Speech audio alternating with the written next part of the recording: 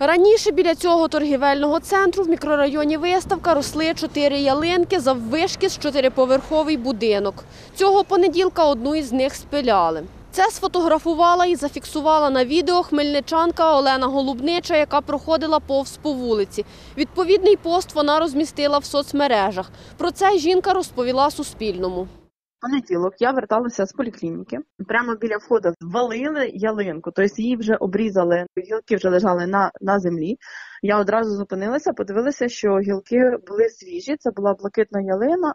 Олена Голубнича додає, на території працювали будівельники. Їй вони сказали, ялинка заважала при зведенні фундаменту. Офіційного дозволу на зрізання дерева від управління житлово-комунального господарства не було, каже головний спеціаліст відділу благоустрою міста Василь Кабальський. 26 числа від е, компанії «Зутекс» надійшло звернення щодо проведення обстеження даного дерева.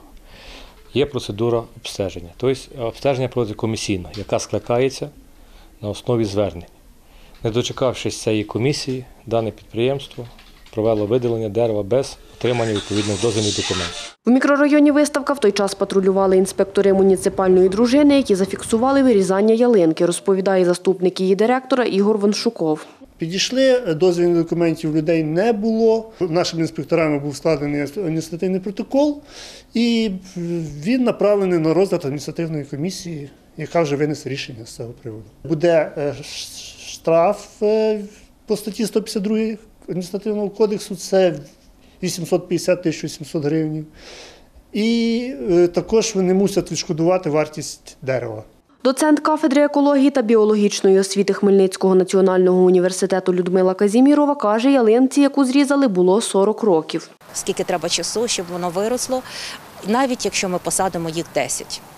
З огляду на ту кількість насаджень, яку, яка зростає в лапках у нас в місті Хмельницькому, можна говорити про те, що не факт, що буде компенсовано це і навіть найближчими роками. Е, кількісно, а зокрема якісно, тому що таку крону, яку має 40-річне дерево, може компенсувати певно близько сотні дерев молодого віку саджанців. Людмила Казімірова додає, дерево в місті дозволяється вирізати тільки за умови його аварійного стану, що несе небезпеку громадянам. Діана Колесник, Андрій Гуменний, Віктор Кривий, Юрій Чорний. Новини на Суспільному. Хмельницький.